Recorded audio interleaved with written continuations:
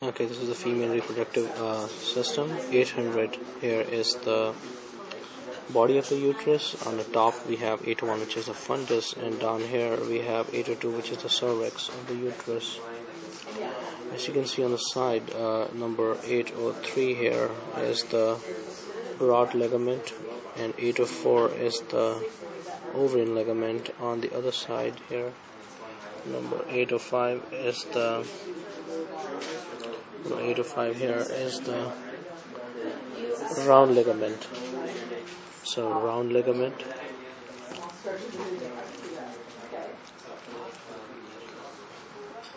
Eight oh four, which is the ovarian ligament, and eight oh three, which is the broad ligament.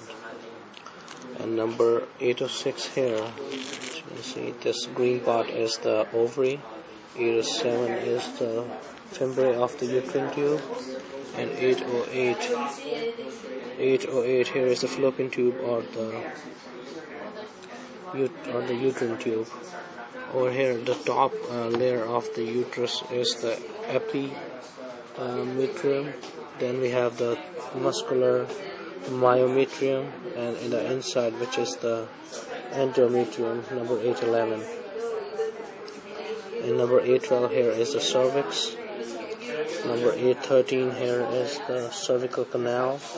814 is the os, external os of the cervix. And 815 is the external, uh, the lateral fornix of the vagina.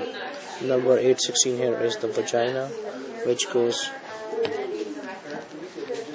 all the way here to 817, which is the hymen.